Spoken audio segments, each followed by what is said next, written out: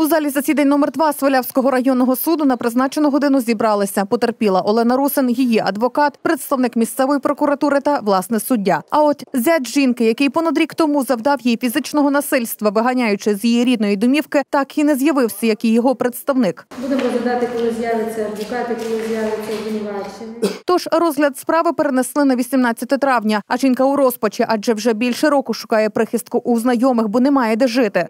З 2015 року я скитаюся, от не, не можу попасти в свій, свій дом. Справа у тому, що пані Олена переписала документи на будинок, який будувала і в якому проживала разом із спокійним уже чоловіком та трьома дітьми із 1973 року на доньку Марію. Адже та обіцяла утримувати стареньку, бо була на той момент розлучена, дітей не мала, а інші діти не мали можливості взяти матір до себе. Договір до вічного отримання її підписували. Ми так і говорили, ми так ішли до нотаріуса з таким.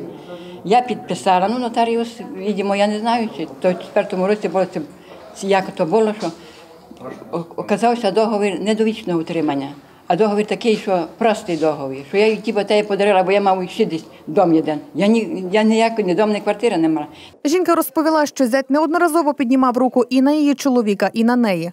Коли він мене побив, вдарив мене у ліву молочну залізу, ну я звернулася до лікаря в першу чергу, тому що мене боліло. І лікар мене направив до медексп... до лікаря медексперта. Від медексперта я взяла поднесла у міліцію, і на нього відкрили кримінальне провадження. І від того часу я добиваюся вже більше як півроку, щоб щось зробили. Ніякого її зміни не є. До- В дом я не можу попасти. Мова ось про цей будинок номер 58 на вулиці Визволення у Сваляві. Два місяці тому ми спробували поспілкуватися із донькою та її чоловіком, але двері ніхто нам не відчинив. Тож із винуватцями усіх бід пані Олени ми так і не познайомилися, адже вони і надалі ігнорують як матір, так і правосуддя. Доки йде судове розбирательство, значить, е, е, їй поп- десь треба оприділити на житло. Фактично, жінка без житла. Другого житла, за ким, за ким квартира, з якої її вигнали, вона не має.